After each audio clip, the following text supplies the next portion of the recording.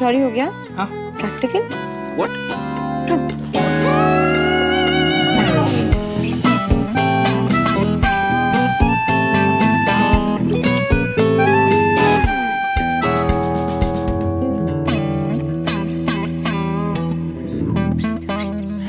Okay so अब uh, ये किस हो गया है। हाँ हो तुम औसम हो यार पीयूष।